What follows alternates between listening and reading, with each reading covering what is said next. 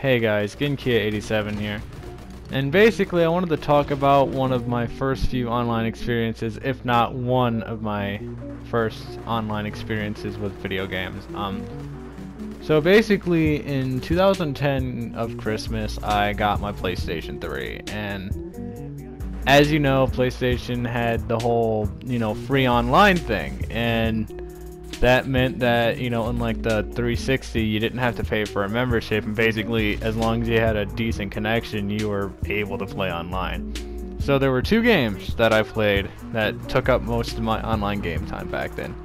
It was Call of Duty Black Ops and Little Big Planet 2 and I played both so fucking religiously you basically never saw me on anything else. If you knew me back then you basically only saw me on either Little Big Planet 2 or 1 depending on how early you met me but mostly two when I got that, and Call of Duty Black Ops. But the thing was, is I was actually very hesitant about Black Ops when I first played it, I'd say in the January period, because it kind of went something like this. Uh, excuse me. My brother was the one who got Call of Duty Black Ops, and I would occasionally borrow it, but I wasn't I was not good at it at first. I was fucking garbage at the multiplayer. Like I couldn't shoot to save my life, and I played the game in the complete wrong way. I was just fucking terrible at it, and I'll never forget the first time that someone from school asked me about it. I was like, "Hey man, you have Call of Duty Black Ops on PS3?" And I was like, "Yeah, I have it. It's pretty uh good, I guess. I'm not really good at it." It's like, "Hey man, you should add me on PlayStation. I'll uh I'll play you in a match. It's like, okay, I'll do whatever. And so what happened was, is we went into Nuketown and it was a 1v1. And let me tell you, I got fucking dominated. I was, there was no help in my ass. I was terrible at the fucking game. But it was this crucial moment when I realized I needed to get good at the game. And here, here's why. So, as I'm getting whooped, my my friend, honestly, I don't even know if I could really call him a friend. He was kind of an asshole. Was laughing his ass off, saying, "Hey, Brandon, you want to know what the best part about this is? You're not even playing me. You're playing my little brother." and I'm over here like, "Wow."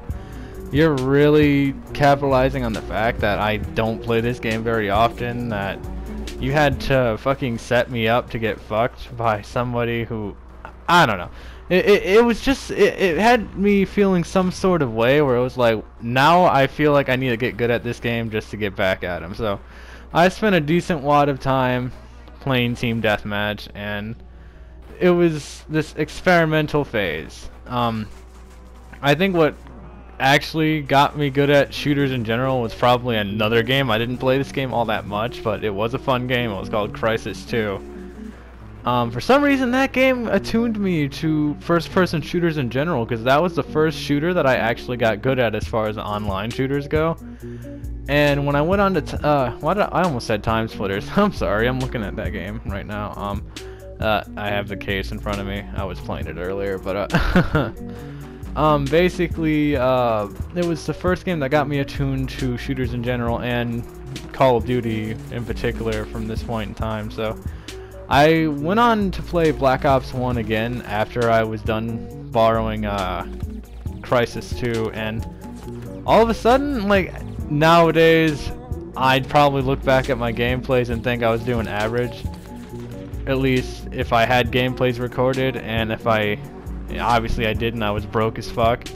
But um, I was doing okay at Black Ops, and I was I guess okay was godly to this person because he got fucking destroyed like a lot. He, he we would con he would constantly invite me to 1v1s, whether it be quick scopes, search and destroys. Uh, yeah, I used to quick scope at some point in time. It was in COD 4 and Black Ops 1. And uh, by the way, to, just to add on, um, I got COD 4 after I started getting into Black Ops. I basically bought all the COD games after I got into Black Ops Online. But uh, yeah, um, he would keep 1v1ing me and he would lose pretty much all the time. Every once in a while he'd get lucky and win. But I think that was just me feeling bad for him and basically just letting him win because I didn't want to hear him bitch because he, he was really good at raging and honestly that was probably the only thing he was good at. But this started a period in time where I, I I don't know, man. I had so many all-nighters playing the original Black Ops, uh, COD 4, Modern Warfare 2, um, World at War. You know, I, I I played all these games prior, or like before Black Ops. I played all these games before, and I only played the campaigns and whatnot. But once I got into Black Ops during my PS3 days, I actually ended up buying these games for PS3 because I had a one of those fat, shitty 360s that red ringed a lot, and I had them on there. But I rebought them on the PS3 just so I could play them online, and those are some glorious times, man. You have no idea how much fun I had just playing uh, uh, Call of Duty Online and meeting new people, and you know, being part of clans. Which yeah, at one point I used to be a part of like legitimate clans, and it was just an overload of nostalgia.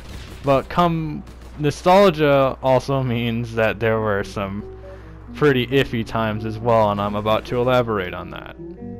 You see, Call of Duty was a really popular thing in my school, and as we all know, Call of Duty is one of those games where you don't necessarily need a gaming history to necessarily play. Like like there are people I know who call themselves gamers, quote unquote, who have never played any other game in their lifetime. They probably either play NBA 2K, Madden, and COD, and that's like they probably have like three games on their shelf that they play. Maybe Assassin's Creed. You could probably throw in Assassin's Creed, but there are mainstream people who also don't even really like Assassin's Creed all that much. And I know that's surprising because Assassin's Creed is pretty fucking mainstream, but uh, yeah, um, people I I've added people in my school who would pretty much be like, "Why are you playing that game?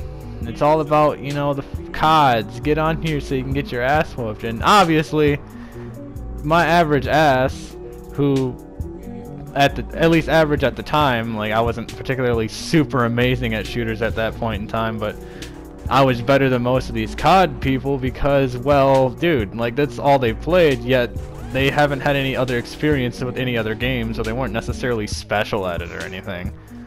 But you know, they would ask me to get on the game, and I'd play like a match or two, and then I'd want to try to play another game, like Little Big Planet. It's like, dude, it's get get back on COD. Like, what the fuck's wrong with you? And it was just like, guys, I I play more than COD. I mean, I have I love this game, but I want to you know do other things. And then came the point in time where one of my, uh, I guess you could say, ex-best friends got a PlayStation 3, and the first game they got with it was MW3. Now, in retrospect, I actually really enjoy Modern Warfare. I enjoyed Modern Warfare 3, and I do think it's a decent game now.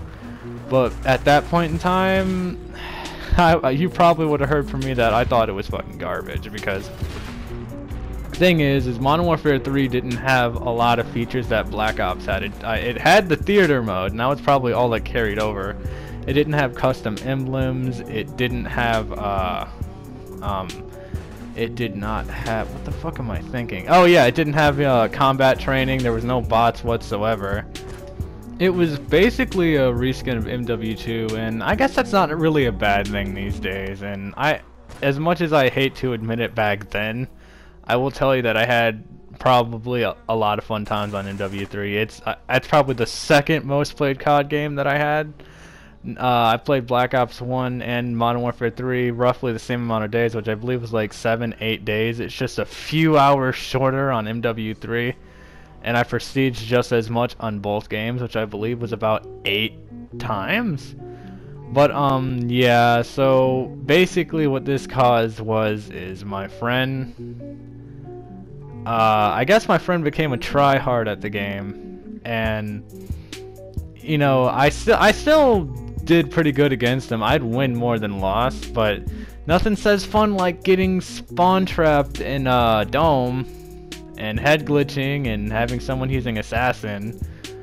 And honestly, that's not the worst part, because, you know, playing with them was still fun, even if he was a bit of a tryhard. But I think it was his brother who made it made me basically want to quit COD altogether just because of how toxic. Honestly, quite frankly, he still is toxic.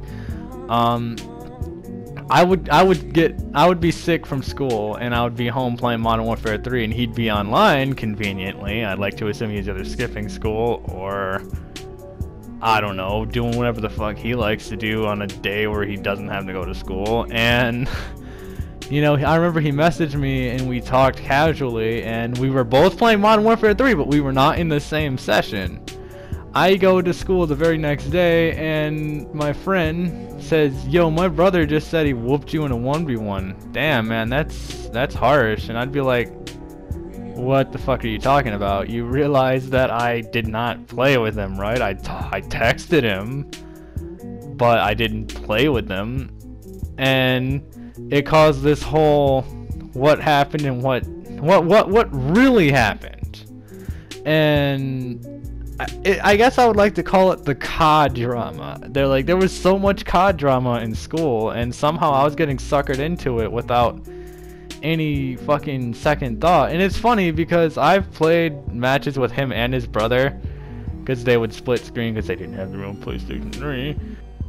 My friend, who I actually associated myself with, he wasn't bad. Like again, I said, like as I said, he was a tryhard, but you know, I could deal with it, and you know, I guess you know we were both competent when we fought each other. But his brother was kind of bad.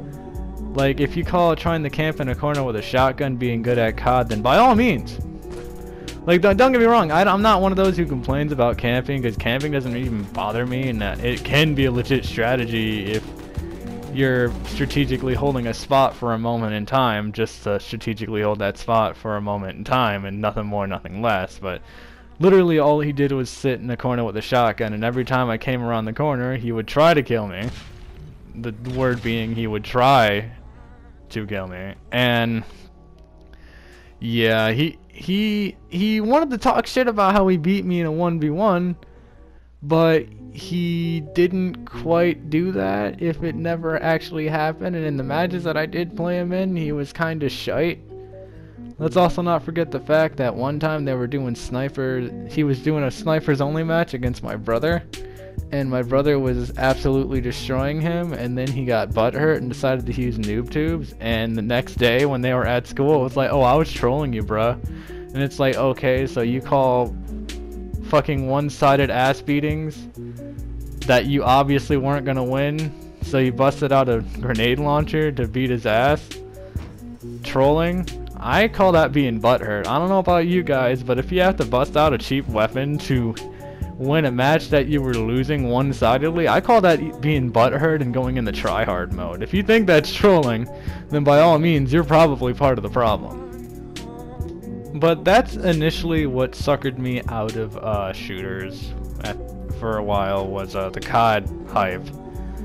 Everyone was boosting about, you know, how good they were at COD and starting all this drama over it, and I just, I just wanted to play a fucking first-person shooter and have fun.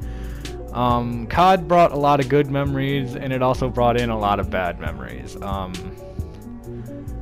uh, I remember just so much shit. Started over quickscope matches um kill death ratios. Like my friends would complain so much about hey man your KD is looking a little low Brandon. Maybe you want to create a new account. It's like fam I've had this account for years with all these trophies because you know I actually have platinum trophies. If you look at my profile I have them. I worked for those do you really think that I want to get rid of my old account just because oh my KDR is on fleek oh like who cares I don't I most certainly don't care I simply play the game to play, and I just so happen to be good at COD. So it, it's uh, it's the terminology. You win some, you lose some, and people don't understand that sometimes.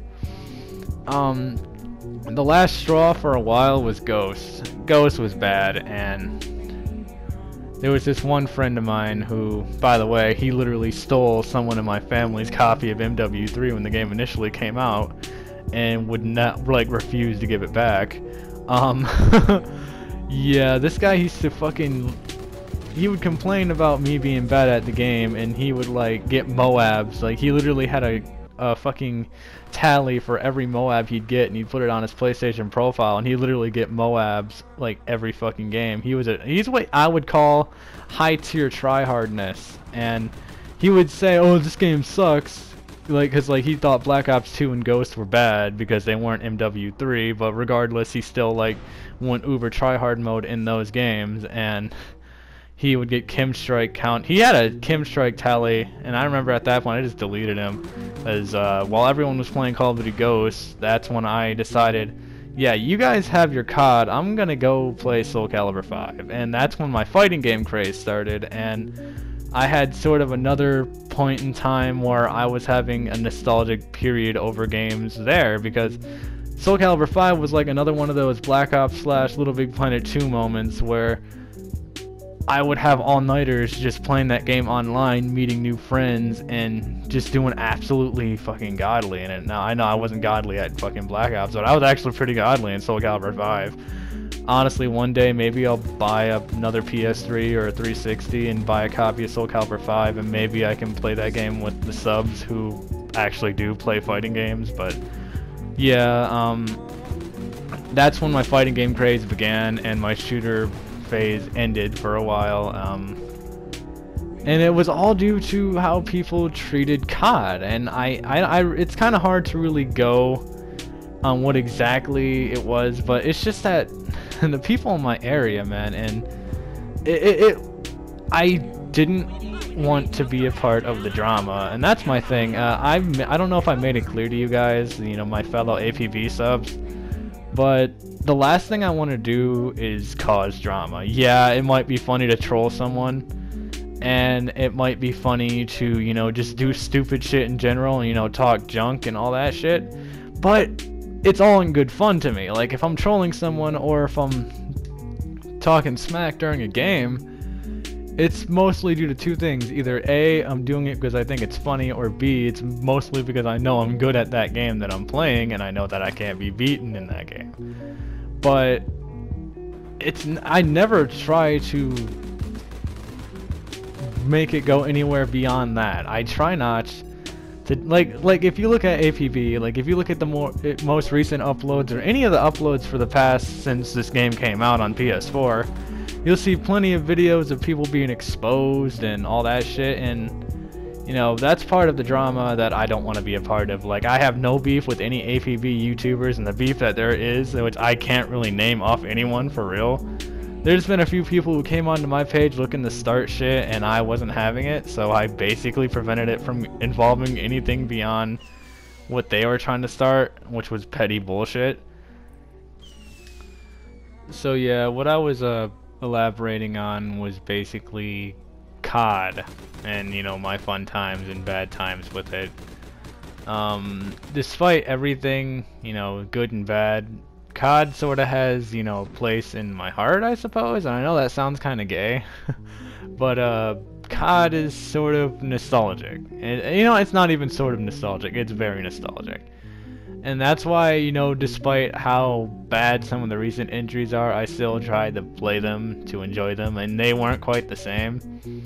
Um, I will say that Black Ops 3 and uh, Infinite Warfare in World War II were decent games. Like they're they're not nearly as high in value as I thought COD two, three, or no, okay, three was kind of bad. Not high in value as COD two, one, four, World at War, Modern Warfare, Black Ops, Modern Warfare 2, MW3, you know, any of the ones before Ghost were, but they were still, you know, stepped in the right direction, especially compared to Ghost, and I, I can have fun with them, but I guess most people forget that when I do play COD, I'm not really taking it very seriously. That's why it's important to highlight that bullshit that that one dude who came into the stream uh, started saying. Like I, I made it very clear in that stream. I don't I don't know why I'm mentioning this. It was I guess it was kind of you know an interesting moment in my uh, YouTube career where it's like, fam, it may be hard to tell. I don't care. Like, I'm beyond taking video games as serious as I used to. Like, I might get into, you know, that hypeness where I'm starting to shout because, you know, video games are fun. But when people come onto your channel and they start going around and saying, hey, you know, you're bad at this game, maybe some people aren't trying to be competitive. Maybe some people are just trying to have fun. I mean, to give you a, good example of one of my favorite YouTubers, there's uh, Dashie Games. He makes it very clear that he's fucking garbage at gaming, but he is funny, and that's what makes his channel so good. It's watching his reactions to everything he does in his game, and he fucking nails it in the personality department. And, you know, I inspire to be that good one day where, you know, I don't necessarily need to do something specific. It's my personality in display that's making people watch me. But, uh, yeah, um, COD, nostalgia, you know, don't take shit seriously. Um, and shits, I don't know where I'm going with this anymore. I've been talking for 20 minutes. This is probably the longest discussion video I've ever had. I'm rambling at this point. Uh, hopefully when I run through this at, before I upload it, I, I actually made sense of what I was talking about. So yeah, thanks for watching and sticking around up to this point, and I will see you guys in the next video, I suppose.